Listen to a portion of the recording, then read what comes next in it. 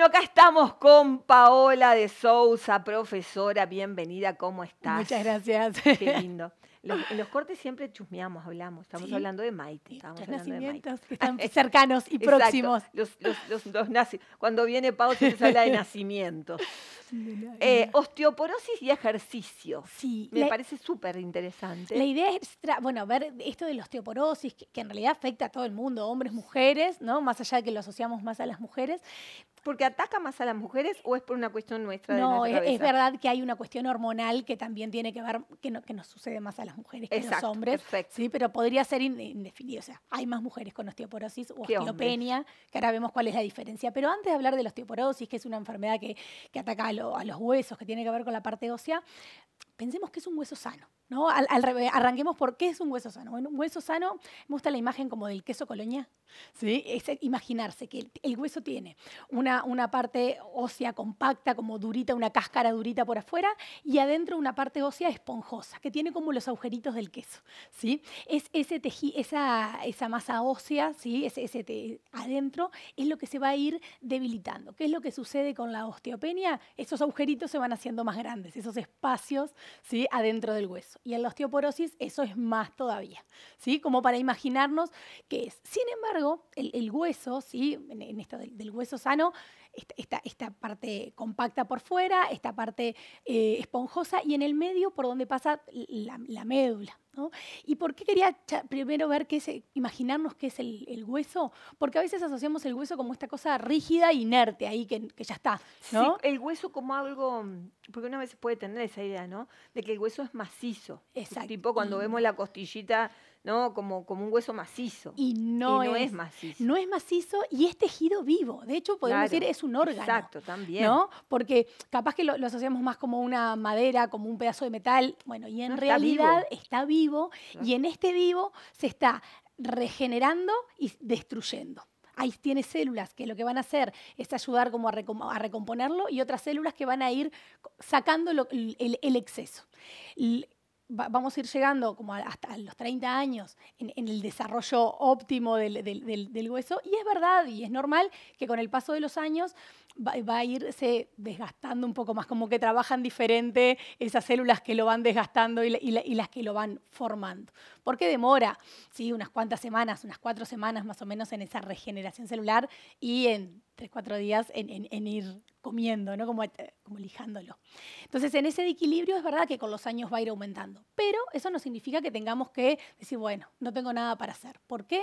Porque el ejercicio físico, ¿sí? Es una de las cosas que nos va a ayudar a activar, a, pedirle al hueso, ¿sí? Que, esté activo, que funcione, ¿sí? Que, lo necesitamos fuerte para activarlo.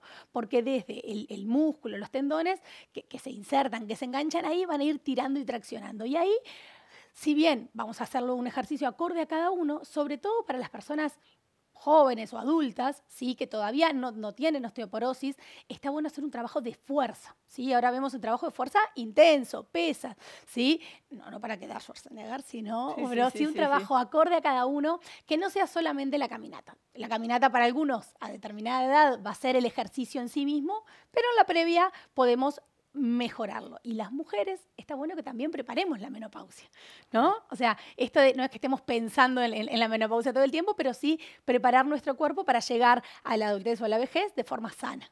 aparte de saber que es una parte de nuestra vida, ¿no? Exacto, es un ciclo más, ¿no? Y que no lo tenemos que padecer, sino que en realidad tenemos cosas para hacer. Y ahí hay una, si bien vamos a hablar, bueno, esto, tenemos una osteoporosis primaria que decíamos que tiene que ver con, la edad, sí, que, va a ir pasando. Después hay, otro tipo de osteoporosis que tiene que ver con algunos eh, medicamentos. ¿sí? Hay algunas enfermedades que, bueno, nos, hay que tomar determinados medicamentos que eso promueve la descalcificación. ¿no?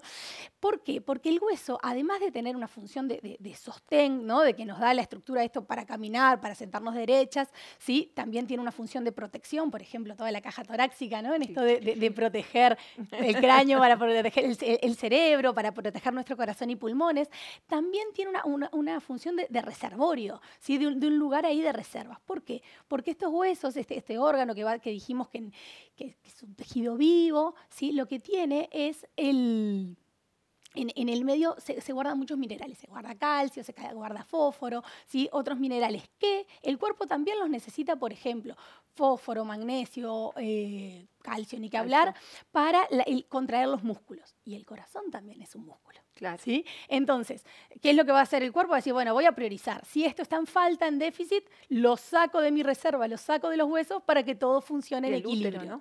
Exacto. ¿no? Entonces, lo saca de los huesos para eso, porque es una reserva. Cualquier si tenemos una alimentación balanceada, lo va a tener. Y, hay, bueno, y también la exposición al, sol, ¿no? la vitamina D que va a ayudar a que ese calcio se, se fije. Entonces, por un lado, una, dieta balanceada, tratar de comer verduras, cosas con hojas verdes, oscuros, eh, frutos secos, unas 3, 4 nueces por día ya va a ser que tengamos el calcio suficiente. Sésamo, sí, que hay que activarlo. Y bueno, después con la leche, los que la consumen bien, los que no la consumen, también hay otras formas de, conseguir el calcio. Entonces, por un lado, ingerirlo, pero sobre todo activarlo, porque yo puedo ingerir el calcio en la comida o ingerir el calcio en, en medicamento, pero si me siento en el sillón, es como como tirarlo, como que pase y siga. Necesito activar esos músculos para que esos músculos activen el hueso. Eso es fundamental. Entonces, que cada uno de nosotros, en función a, nuestro estado de salud, a lo que vengamos haciendo, empezar a hacer ejercicio todos los días, ¿sí? Mínimo tres veces por semana, un ejercicio de fuerza, para algunos será caminar. Por ejemplo, nadar está divino, pero es un ejercicio antigravitatorio. Necesitamos al revés darle peso para que esos músculos trabajen, ¿sí? Entonces, ir aumentando cada vez más el ejercicio de fuerza para alguien sano que hoy no tiene ni osteoporosis ni osteopenia, está bueno un, un calentamiento, 4 o 5 minutos, un trabajo de fuerza y un estiramiento, que nos puede llevar 25 o 30 minutos. ¿no? Entonces, esto va a ser la forma de prevenir, de llegar ágiles. Y no estoy hablando de operación verano. ¿no? O sea, más allá de que una cosa va a mejorar lo otro, estamos hablando de, de, salud, de poder mantener nuestros huesos firmes, ¿sí? Sí, porque después se dan las lesiones de cadera, todo que es por osteoporosis, todo. Exacto, entonces, después, esa osteoporosis, cuando ya está instalada, lo que va a hacer es, tendemos acá. Ahí lo que no se sabe es, ¿se quiebra el hueso y me caigo o me caigo y se, se quiebra el hueso? ¿no? Eso que no se sabe. Pero lo, clásico es, esa fractura en la cadera, en las muñecas, ¿sí? pero también en la columna. ¿no? Entonces, esto que decís, esa columna que nos sostiene, ¿sí? Entonces, muchas veces, a veces la gente dice, ay, antes llegaba a, tal, a sacar tal cosa de, un cajón en un estante de arriba y ahora ya no llego. Bueno, porque en realidad es verdad que los discos vertebrales se van como, deshidratando, se van haciendo más finitos a, veces, pero también hay, hay una pérdida la calidad y cantidad de ese hueso y cada vértebra es parte de ese hueso. Claro. Entonces es bien importante el ejercicio e ir retomando. Los invito a, asomarse al ejercicio sin miedo. Tal vez en una época teníamos como mucha cosa con trabajar con la fuerza, voy a quedar enorme. No, ¿sí? O sea, podemos hacerlo, no, estamos hablando de una competición de alterofilia, ¿no? De esas mujeres supermarcadas. Simplemente el trabajar la fuerza para darle, para activar el metabolismo darle fuerza a ese músculo, ese músculo que se engancha y va a activar. Si no le pido, el cuerpo dice, bueno, estoy acá, no preciso hacer nada, ¿sí? También a nivel del hueso. Entonces, el hueso como un órgano vivo. Quedarnos con esa idea de empezar a hacer un poquito más de ejercicio todos, incluso aquellos que capaz que no se pueden mover, lo que siempre decimos en esto, capaz que para algunos empezar a levantar la pierna sentada donde estoy, sí, sí, ¿no? o sea, tal vez para otros la caminata es Cada el uno a su medida, Exacto, pero desde el vamos, en, en el embarazo también, ¿no? Que no sea solamente que está buenísimo, algunos ejercicios de relajación, sino en realidad un trabajo para mantenernos activos, para llegar ágiles al, encuentro con ese bebé, para poder movernos en el, posparto, ¿no? Y después la, pausa. Entonces tenemos siempre un motivo para hacer ejercicio, mujeres y hombres. Sí, sí, cuando me hablaste de los hombres, realmente porque uno asocia eso a este, solo las mujeres.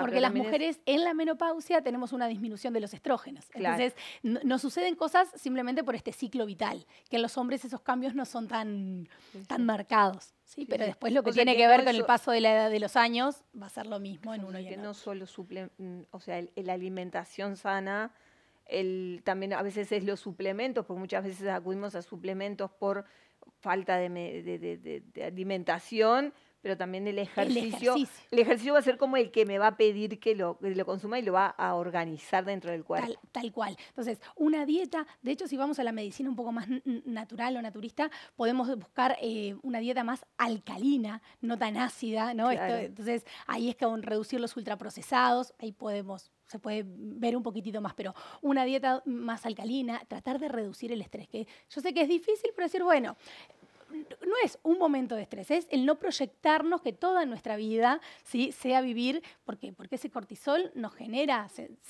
cambios, otros cambios metabólicos que no están buenos. Entonces, sí para momentos puntuales, sí para momentos en los que, bueno, nada, no, no, puedo hacer otra cosa, pero capaz que tomarnos ocho minutitos, hay, un, hay algunos estudios del número ¿no? de ocho minutos de ejercicios de respiración consciente o de meditación, cómo hacen modificaciones a nivel del estrés. Sí, sí, Entonces, ir buscando esos detalles para, para, una calidad de vida y poder eh, no caernos, poder estar ágiles toda la vida. Tal cual. Gracias, Pablo. Gracias a vos. siempre. Bueno, nosotros continuamos.